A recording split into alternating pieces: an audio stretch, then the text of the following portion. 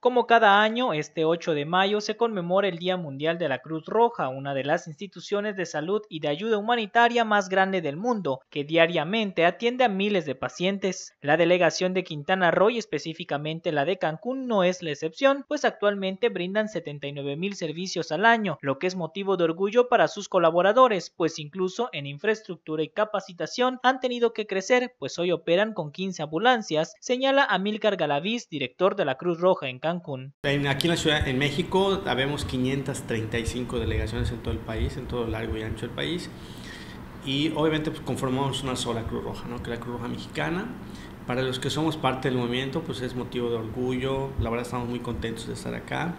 Creo que todos los que hemos sido tocados por esta institución pues, nos ha cambiado pues, la forma de ver las cosas, eh, la forma de, de, nuestra vida propia, ¿no? Como tal. Reconoció que a lo largo de los últimos años grandes son los retos a los que se enfrenta el personal, entre ellos la capacitación en temas de baleados. Yo no me imagino un día sin la Cruz Roja, ¿no? Este, como ustedes saben, eh, bueno, el servicio que más vemos o el más conocido pues es el de las ambulancias, ¿no?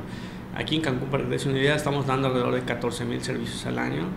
Eh, todos los servicios son de forma gratuita, pues cuando son servicios de emergencia. Y pues no me imagino una persona ahí tirada sin, y que no hubiera alguien que fuera a, recogerla, ¿no?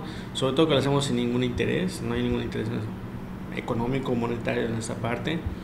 Eh, entonces, pues no, no me imagino un, un, día sin una Cruz Roja, ¿no?